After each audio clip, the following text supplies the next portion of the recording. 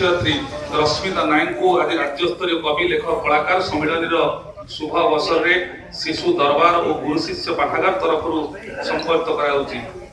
ହେ ପୂଜ୍ୟ ଗୁରୁମା ବିଦ୍ୟା ମନ୍ଦିରରେ ଉଡୁ ତୁମ କୀର୍ତ୍ତି ଧ୍ୱଜା ଯେତେ ଦିନ ନଭେ ସୂର୍ଯ୍ୟ ଚନ୍ଦ୍ର ଥିବେ ପାଉଥିବ ତୁମେ ପୂଜା ପାଉଥିବ ତୁମେ ପୂଜା। ଯାହାଙ୍କର ହାତର ସ୍ପର୍ଶରେ ଅନେକ ତୃତୀୟ ପାଣ୍ଡବ ଆଜି ବିଶ୍ୱ ବିଜୟୀ। ଯିଏ ଗଢ଼ିଛନ୍ତି ଅନେକ ଶିକ୍ଷାର କୋଣାର୍କ। ରଶ୍ମିତା ନାୟକଙ୍କୁ ଆଜି ସମ୍ବର୍ଦ୍ଧିତ କରୁଛି ଅନୁଷ୍ଠାନ।